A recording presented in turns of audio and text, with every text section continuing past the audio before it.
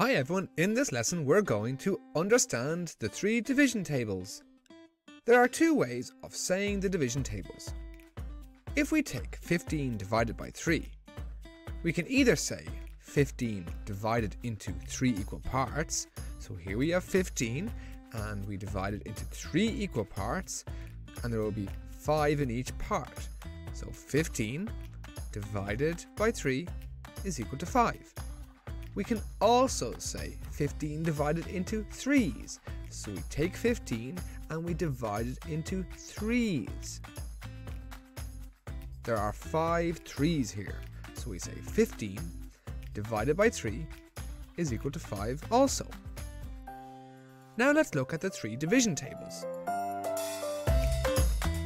So we're going to start off with 36. Divided into 3 equal parts we'll get 12 in each part. The other way of saying it is 36 divided into 3's, we'll get 12 groups of 3. Now next one, 33 divided into 3 equal parts, there's going to be 11 in each part.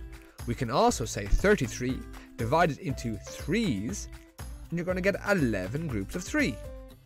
30 divided into three equal parts, you're going to have 10 in each part. Or 30 divided into threes, and you're going to get 10 groups of three. 27 divided into three equal parts, you're going to get 9 in each part. Or 27 divided into threes, you get 9 groups of 3. 24 divided into 3 equal parts, you're going to have 8 in each part. Or 24 divided into 3's, is going to give you 8 groups of 3. 21 divided into 3 equal parts. You're going to get 7 in each part. Or 21 divided into 3's, you're going to get 7 groups of 3. 18 divided into 3 equal parts, you're going to get 6 in each part. But if you get 18 and divide it into 3's, you're going to have 6 groups of 3. 15 divided into 3 equal parts, you're going to get 5 in each part but 15 divided into 3's, you're going to get 5 groups of 3. 12 divided into 3 equal parts, you're going to get 4 in each part, or 12 divided into 3's, you're going to get 4 groups of 3. 9 divided into 3 equal parts, you're going to get 3 in each part, and 9 divided into 3's will give you also 3 in each part. And then 6 divided into three equal groups, you're going to get two in each group. Or six divided into threes, you're going to get two groups of three. And finally, if you get the number three and you divide it into three equal parts, you're going to have one in each part.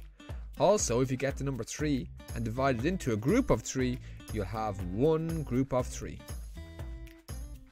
Great work! You now hopefully understand your three division tables.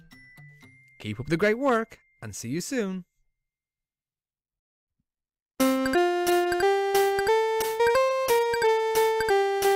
Thank you for watching.